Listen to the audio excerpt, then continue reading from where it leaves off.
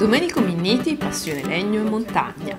L'artigiano ha ricevuto alla scorsa fiera di Sant'Orso di Aosta la menzione per il premio Pier Vietti, per il suo basso rilievo che fotografa nel legno pernici e galli forcelli, animali protetti della Valle d'Aosta, tema del 2023 del premio.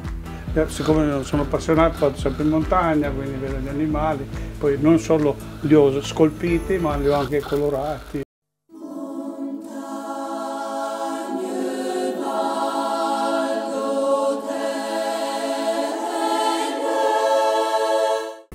Dal 2000 Minniti partecipa alla fiera come scultore, dopo gli anni dedicati all'intaglio.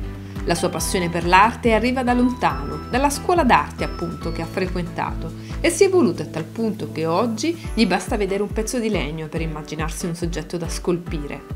C'è un riccio, qui ci sarà la testa, come pure poi i gnomi faccio con eh, i nodi dei castagni.